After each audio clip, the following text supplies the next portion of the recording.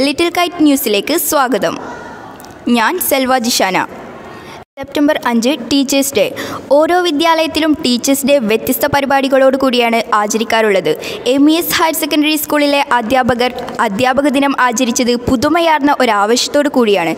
Butterfly എന്ന പേരിൽ ഒരു പൂന്തോട്ടം നിർമ്മിച്ചുകൊണ്ട് വ്യത്യസ്തങ്ങളായ ചെടികൾ ഓരോ അധ്യാപകരും നട്ടുപിടിപ്പിച്ചു. ഷീനിക മല്ലിക മാങ്ങമറി തുടങ്ങിയ പൂക്കളായിരുന്നു നട്ടുപിടിപ്പിച്ചത്.